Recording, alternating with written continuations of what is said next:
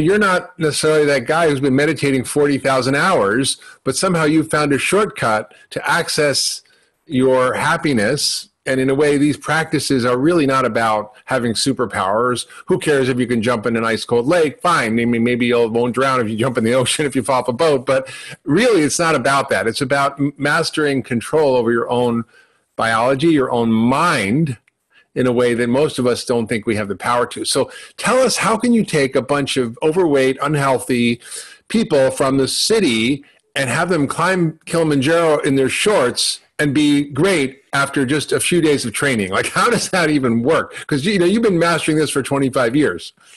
Yes, uh, last time I climbed Kilimanjaro in shorts, the oldest participant without former experience in mountaineering suffering from Lyme's disease. He did it in short, in 31 hours.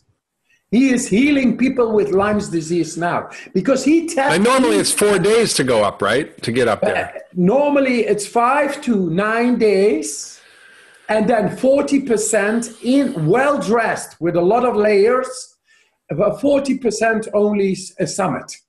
Yeah. And in my case, everybody is going to summit and then in record times. We are defying all the existent physiological laws of acclimatization of uh, red cells and white cells. Uh, we just show a different paradigm. And that is possible in only, say, one day.